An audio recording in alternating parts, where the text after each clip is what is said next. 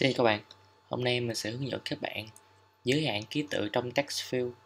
Là ví dụ mình có viết một cái demo một đoạn code là mình sẽ cho người dùng nhập vào đây. Chỉ giới hạn được 5 ký tự thôi. Bây giờ mình thử gõ số 1, 2, 3, 4, 5, 6, 6, 6 gõ không được. Thì chúng ta giới hạn ký tự trong text field. Rồi à, ta bỏ check lên. Đặt limit character Dạ.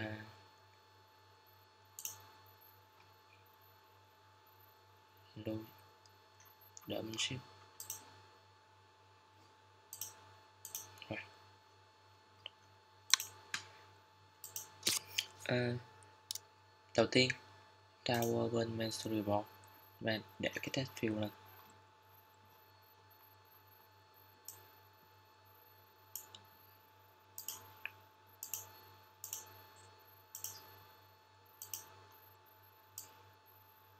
rồi chúng ta ấn xạ qua.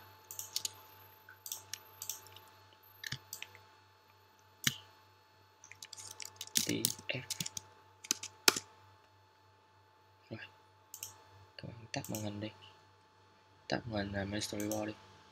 Lên view controller thì uh, chúng ta sẽ gọi một cái uh, function. Function này uh, à trước hết chúng ta sẽ thêm cái giao thức là UI text field delegate rồi.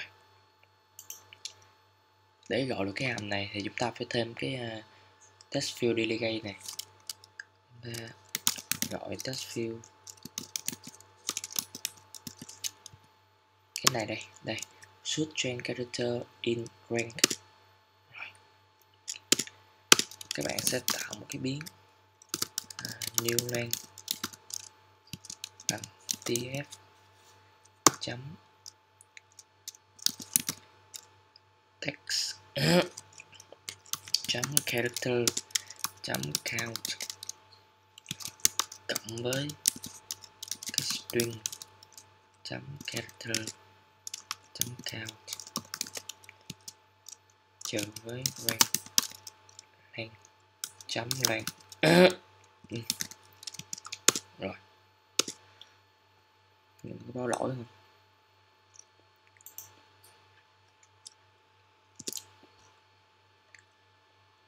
rồi, ra return này.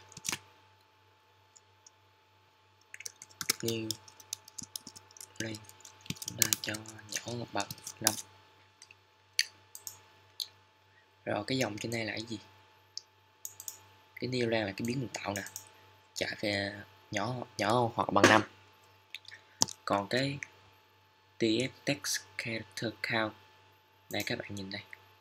Mình có để sẵn text này là cái người dùng nhập vào khi người dùng nhập á thì nó sẽ tính theo số tự là ví dụ bạn nhập một ký tự là nó sẽ tính là không rồi đến với từ lên là một hai ba bốn rồi cái à, string. Character. Count này á là khi bạn nhập vào á thì nó sẽ cộng lên một còn khi bạn xóa đi á thì nó sẽ cộng không còn ngược lại uh, rank chấm len là khi bạn nhập vào á, thì nó sẽ cộng lên không. Còn khi bạn xóa đi á, thì nó sẽ trừ một. Rồi các bạn uh, play.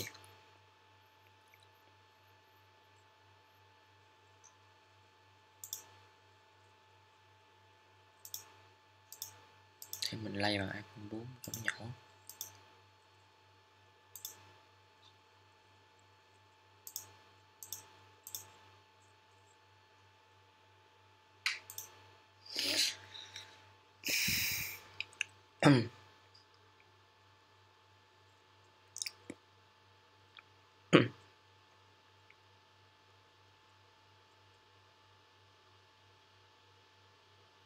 rồi các bạn nhìn đây. Ví dụ mình nhập 1 2 3 4 5 6 6 Ủa kỳ vậy? Rồi biết rồi. Mình quên thêm cái delegate vào cái uh, view lát chúng ta sẽ thêm cái tf chấm.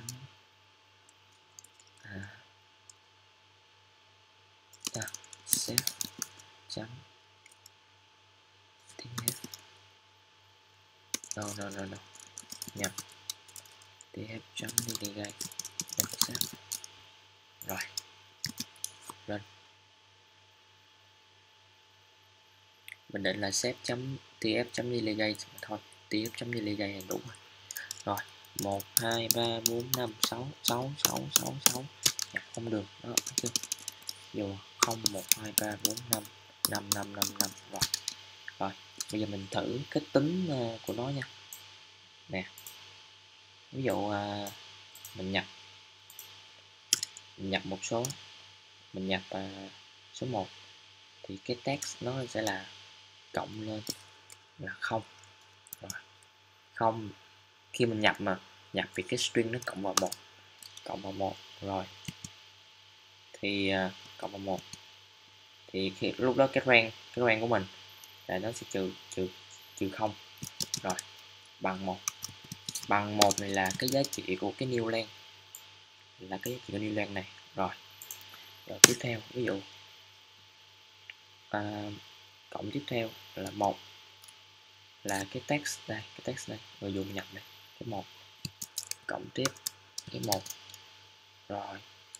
Chúng ta sẽ trừ cho cái không. Là bằng hai.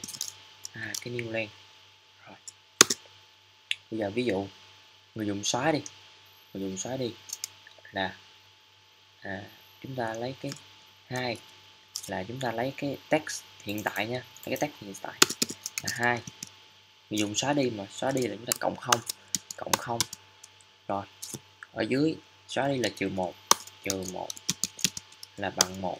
Rồi. Chúng ta quay lại bằng một rồi cứ tiếp tục vậy. À, đến khi nào mà đủ đủ thì thôi. Các bạn có thể ờ, dùng cái hàm print in ra dù in ra để các bạn ờ, xem dụ print uh, ren dụ cho ren lan đi. Rồi thử nè để coi lúc mà nó